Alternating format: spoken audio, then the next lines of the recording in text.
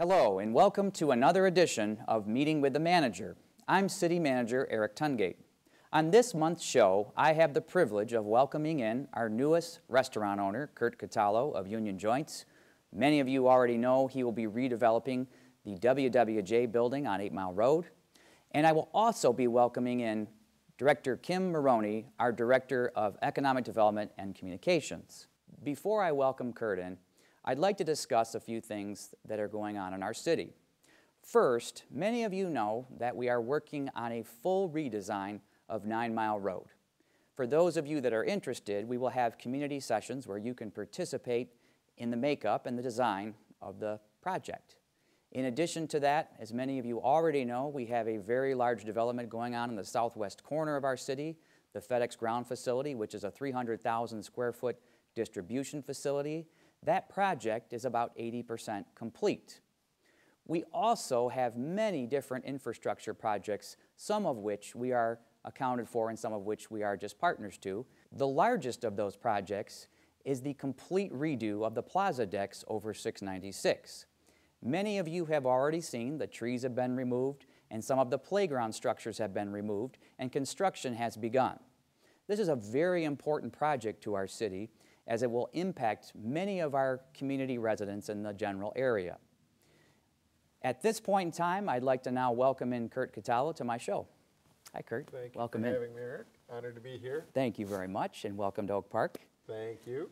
So I'd like to start with a brief overview of how you first thought about this property and how it came to be. You know, I think that this property is so unique because it's, uh, it's one of those buildings that you mention to anybody and they know the WWJ Tower. It's such an iconic structure on such an iconic road that everybody already knows it. And uh, it's always been on our radar as a building. It had just never been on our radar as an opportunity to repurpose it and uh, really save it as a restaurant. So that was kind of uh, a big step for us. But as far as the building, I mean, I have known that my whole life, and for good reason. Absolutely. And I think it goes without saying, and, and you're widely known in metropolitan Detroit as well as the state of Michigan and probably beyond that now. Um, you choose buildings with historic value like this. What other projects do you have going on or restaurants you have in other cities? Well, you know, I think uh, I speak to uh, these buildings on behalf of Union Joints and Ann Stevenson, my wife, because really these buildings have kind of found us. In 1995, we opened uh, our first restaurant, the Clarkston Union, in a former Baptist church on Main Street in Clarkston. And since then, we've kind of been fortunate enough to find these buildings that had always served one purpose, but were destined to serve another.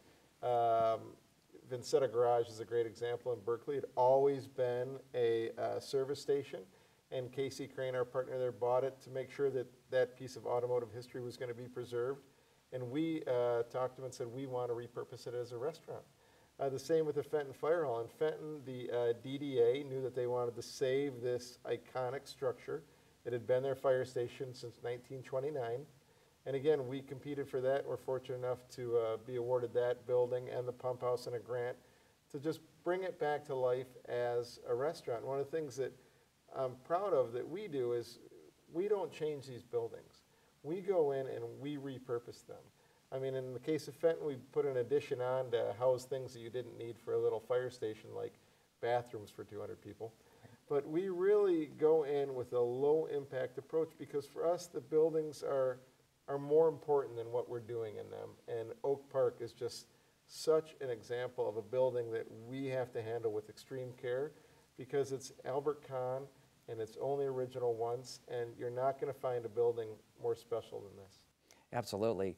And it goes, you know, it, it's on Eight Mile Road. And, you know, you and I have talked in the past about um, some of the implications of that. We know the historic value of the building itself, but the sort of symbolic value with the fact that it's on Eight Mile Road, how do you see this transforming Eight Mile and maybe some of the negative images people have of Eight Mile even?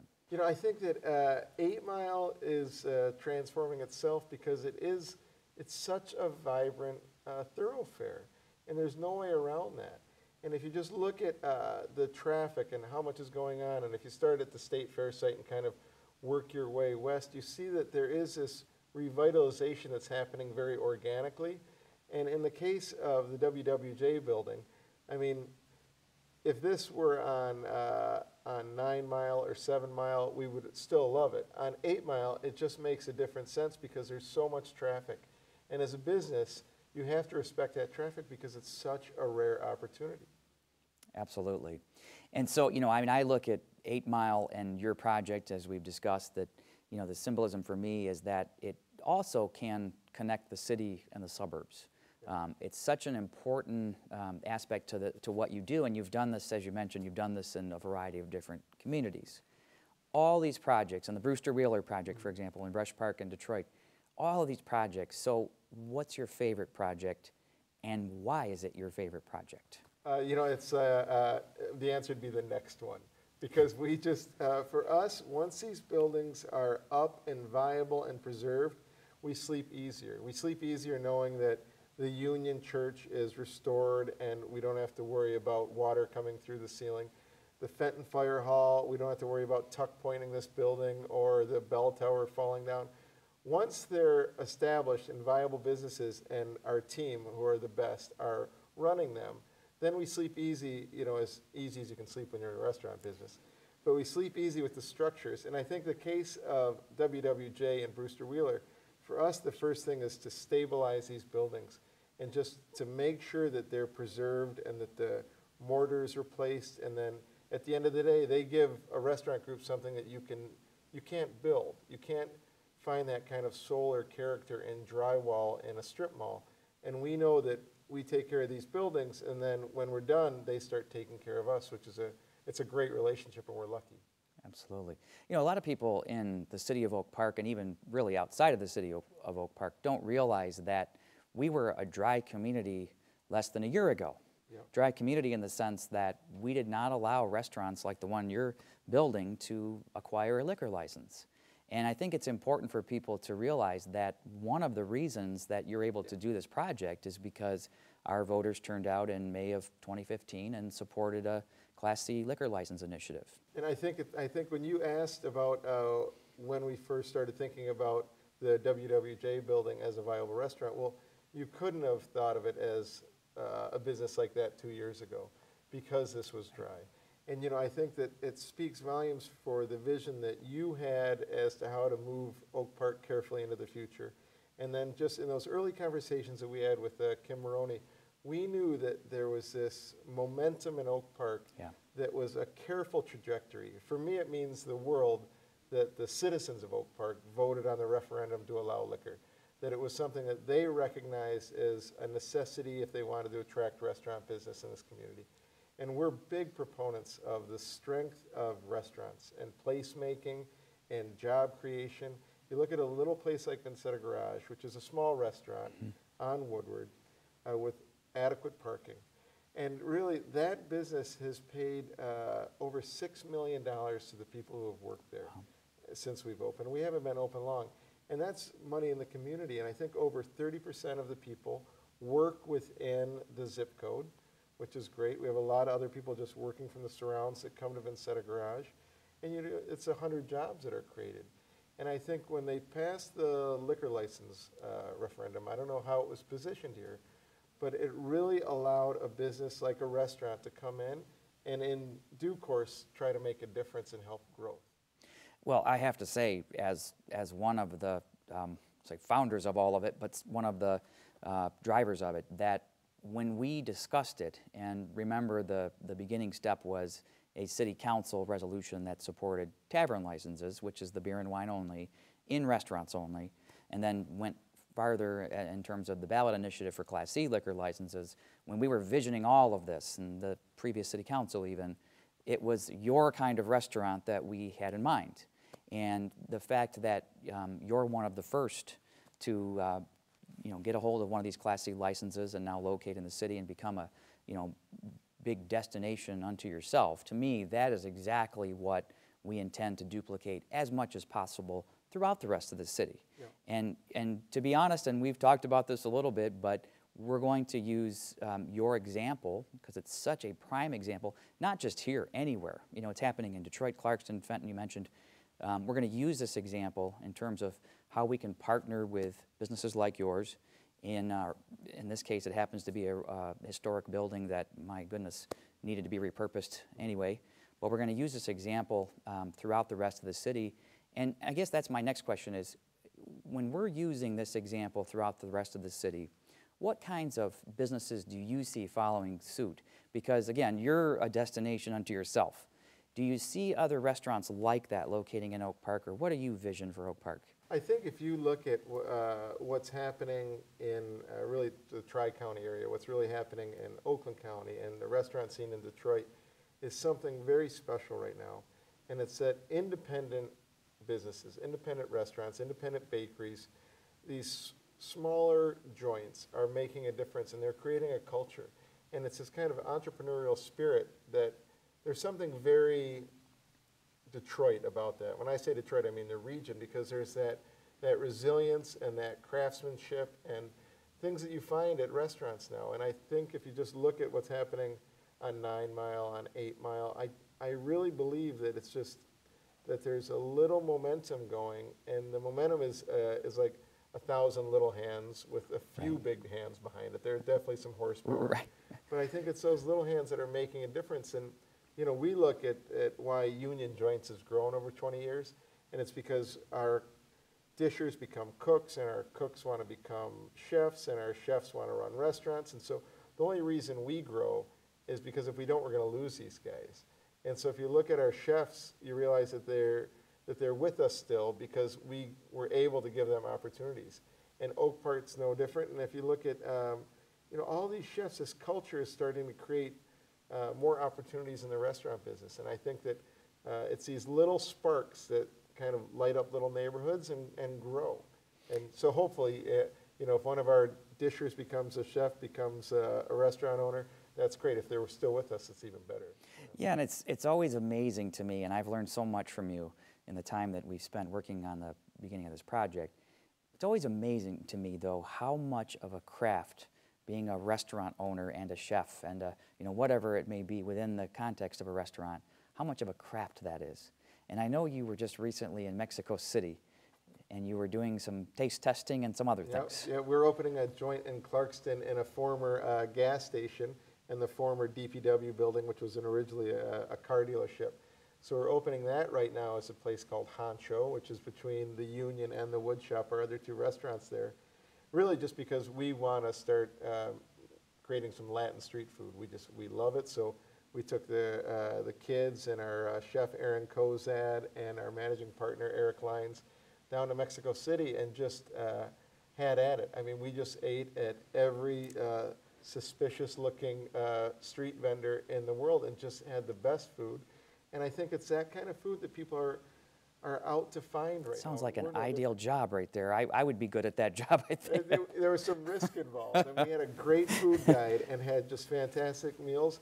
And then Chef and I got a little cocky and thought that we could pick out the right vendors, and uh, that was a little more ambitious. We weren't ready for that, but I think the food that we brought back, the inspiration, is what is what people are looking for. And you know, when we opened 20 years ago, there weren't cable channels dedicated to food. Right. There weren't, you know, so many cookbooks and so much passion about food and culture. And now, I mean, it's, it's fun and people just love it. And I think that Detroit, uh, that this scene is helping fuel that. But in a way, it's a bigger story because it's happening throughout the U.S. and, uh, and Oakland County and Wayne County are playing parts in it. It's just, it's great to open Food and Wine and see stories about this region. Absolutely, because you couldn't do that 10 years ago. Yeah, it's, it's, it's reminiscent of the, the transition, I, in my opinion at least, that happened in Brooklyn. I mean, it's very Yeah. similar to that, that uh, culinary scene that exploded in the 90s and to some degree is today. And I think it was kind of the same formula if you look at what made Brooklyn work and what's making this area work is that people realize that at the time in Brooklyn, you could get a storefront a lot cheaper than Manhattan. You could start a Yeah. business easier than you could in Manhattan. And I think that that's the spirit that's uh, leading to all these businesses opening, whether you're opening a place that uh, washes dogs or a, a donut shop, it doesn't matter. It's just Right. jumping in there and repurposing a space and bringing something back to life.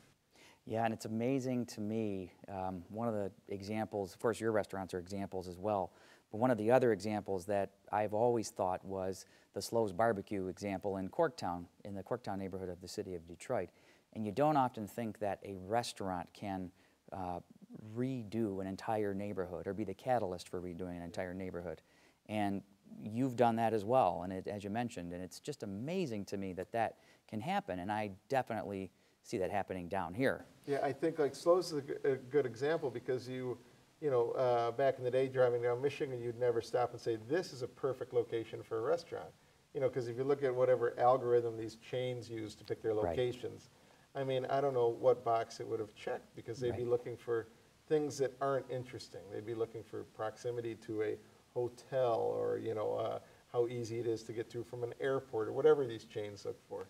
But I think Slows did it because they just, they knew that they could create a destination there and believed in their ability to do so.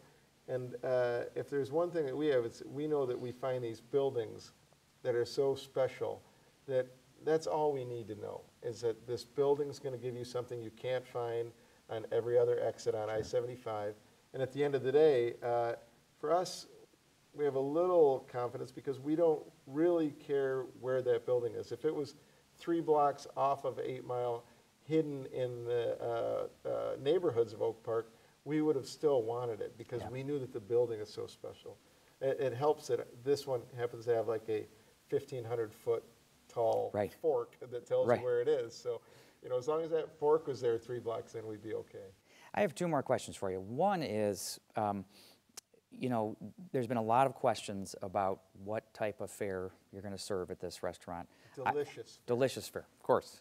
But give some examples. I know you talked about the mac and cheese uh, fare, but what other things are you thinking at this point? You know, I think the, when we develop um, menus for these buildings, Ann Stevenson, my wife, Ann does all the design and really works closely with Chef Cozad on designing the menus. And I think what we create is something that pays respect to the space. It's like the kind of menu that makes sense in the space, but also makes sense with what we do. And we are, we are not a tablecloth kind of joint. It's just not our thing. Right. We like food that uh, under promises and over delivers, and you just know what you're getting. We're not hiding it behind sauces. We're just keeping it honest. And we're fortunate that that kind of comfort food that we've had uh, has kind of come to us. I mean, it's, we're fortunate that, that that's kind of where, it's the kind of food that people want now, which is good. And I think if you look at the menu that we have at the Fenton Fire Hall, or Vinsetta Garage, or the Union Wood Shop, or the Union, these are all similar but different. And they're different because they pay respect to the building that they're in. So the fire hall, I mean, we cook with fire. It makes sense there, but, Right. you know, we have a bunch of chili because you can't have a fire hall without chilies. Right. And I think that uh, Oak Park, that this building, I mean, it's special. It has a certain uh, stature to it. And I think that the menu needs to be broad-shouldered, the menu needs to be our kind of food, but also pay respect to the structure. And that's really, that's something that'll, that'll come, but it definitely, we're not going to venture out of our comfort zone, and our comfort zone is rooted in comfort food. Okay, so last question along those same lines then. Um, it seems like every time I am watching Food Network or one of these other shows, I see you on here. I'm s- you- you- I hope I look better in person. You look wonderful. Yeah, but so so random question, but what is your favorite episode or appearance or segment on any one of these shows? Um, you know, that's a great question. Um, it's difficult to say because, you know, we just, we love any time that the buildings are featured and our chef is featured and the food is featured. And so it's always a little bit different. And there have been some uh, shows like You Gotta Eat Here that we did that were just a lot of fun to film. And we just really loved doing it. But if you look at the, um, the net that was cast, I mean, diners, drive-ins, and dives, and the fact that Kid Rock did the episode with us, I mean, that really, that changed our business in Clarkston. I mean, that, that happened, and it, it changed us enough where we could start giving health care to everybody. I mean, that changed us enough that, Wow. that we could uh, look at opening other restaurants, because it was just, it made such a big difference to the wood shop uh, and the union, that that was just neat. And, you know, I'd get um, calls from people who saw it out in California, and you, you know, get Facebook imagine. friends Wow. coming out. It's just, it's neat to know that this little building that has served a million orders of mac and cheese in Clarkston uh, can get enough attention to be noticed on a bigger stage. And it proves that you can do that if you're just, if you're a little voice, but you just stay true to it. So we're, we're proud of what that repurposing has done because it's 21 years later, it's a million max, and we have people that have been with us all 20 years. And as we grow, um, it's our obligation to find opportunities for them. And Oak Park and your building and the vision that you have for Oak Park moving forward and uh, Kim Marrone's commitment to uh, moving it forward economically, we knew that this was just a no-brainer for us. For us, there wasn't a single box that this didn't check because it's, it's a building you can't replicate. It's Albert Kahn, which is the pinnacle. Yeah. You know, it has history that can't be touched.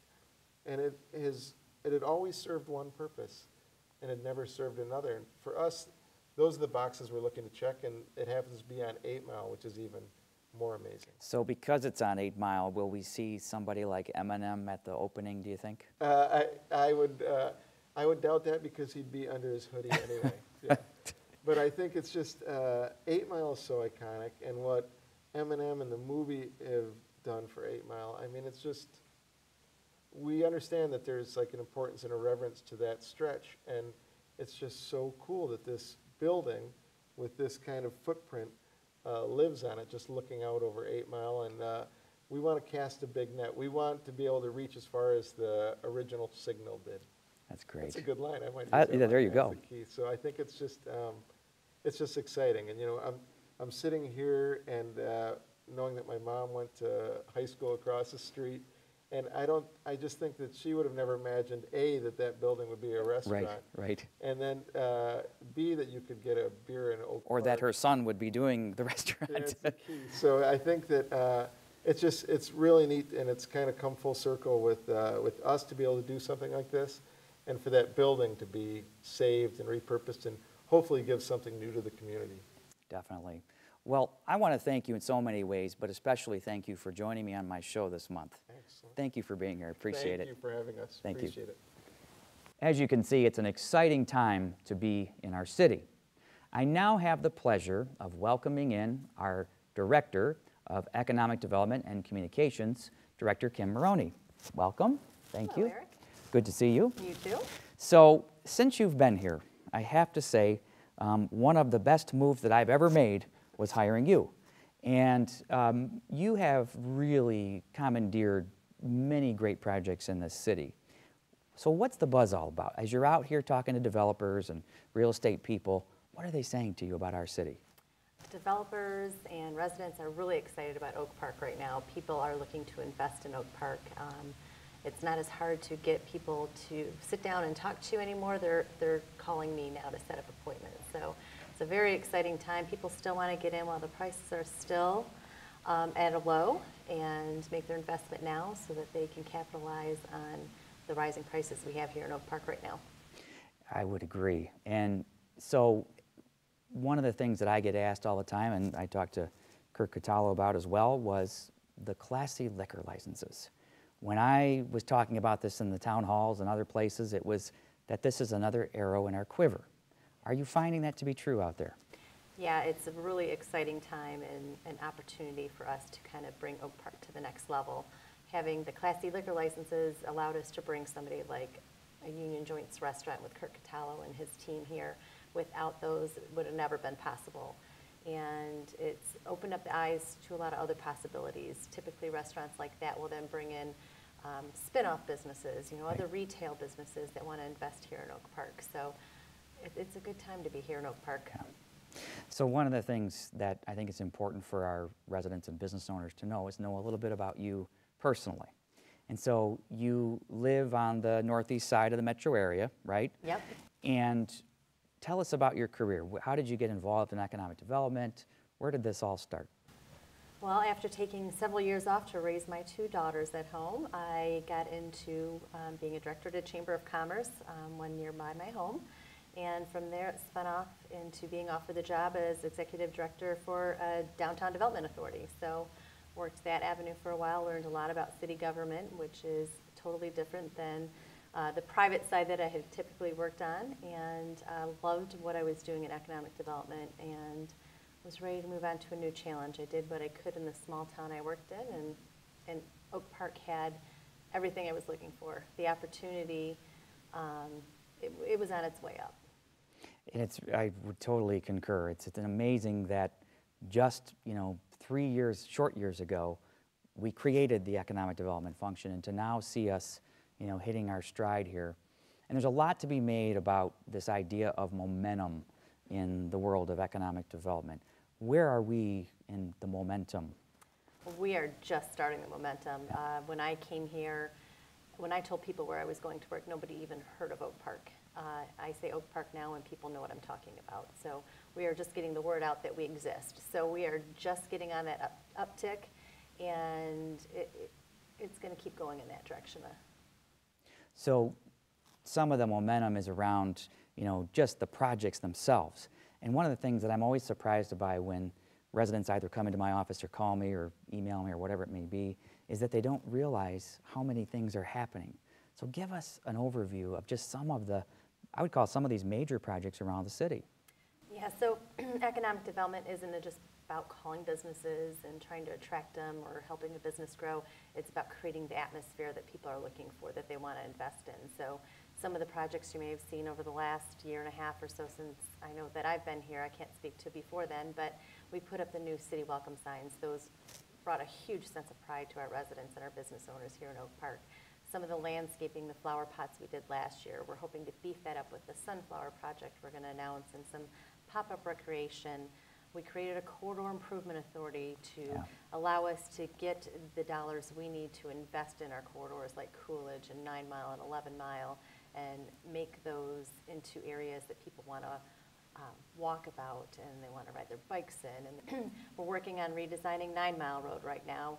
Uh, We'll have a lot of public forums for that. But the redesigning of Nine Mile will create that atmosphere. I'm sure you've heard the buzzword placemaking. Um, it- makes people want to go and visit and spend time there. It's hard to describe. You, you just feel it when you're in one of those places. And we want to bring those elements into Oak Park because they don't exist today. And, and we want to attract the people who will then attract the businesses to come. So you've got to create the place to make the environment for more investment. Absolutely, and I say this all the time till I'm, people are sick of hearing it, but we are not a city trying to overcome, you know, cities nearby. We're, we're, we are a bedroom community in the inner ring suburbs, but we haven't played our role uh, within some of those best uh, places to live and, and, you know, go out to eat and so forth. So all that, where, what types of projects do you see going on in the future now? And I know 2016 is a big year and going to be even a bigger year. Kinds of things are you seeing in your pipeline? Yeah, well, we have the new um, residential development coming up, the Jefferson Oaks project. Uh, I see some other restaurants maybe coming into our future and maybe a few new retail establishments. Um, I, I think we're just going to kind of build on that momentum right now. Industrial area is almost completely built out in Oak Park. We still have some vacant land on the Armory parcels, but we have some great prime real estate also on the Armory site for some great retail opportunities. So we're working hard. to Are we looking at big box type retail there? or- Possibly, okay. possibly some big box, some restaurants uh, with the Class C liquor licenses make all of those possibilities available to us right now. So Sure. we are um, definitely focusing part of our efforts on the Eight Mile corridor because we think that that is an important area for our city. It it is the borderline between Detroit and Oak Park, and it it kind of welcomes everybody into our city. So we want to Sure. make sure that it's looking its best. And so I, I have to ask this, but I get asked this question a lot too. What kind of a, and I want to say just a negative impact, does the Northland Mall uh, area of Southfield have on us? I think the uncertainty of what's going to happen at Northland right now has um, a negative impact on us. Uh, Not knowing what will eventually be across the street is, is an unknown. So a business looking to locate there would prefer, of course, to know what's going across the street. Um, If it's something that's going to complement their business or if it's something that's going to hurt it. So the unknown is, is the biggest downfall right now with Northland. Sure. Well, I can't thank you enough for all of your hard work and helping us improve this city. Um, It's been a tremendous ride, of course. Um, And I also want to thank you for joining me on my show this month. Well, thank you for having me. Thank you very much. Appreciate it. Bye. I want to thank you for joining me on this month's edition of Meeting with the Manager. Look for an exciting show next month. Thank you for all of your support and have a good day.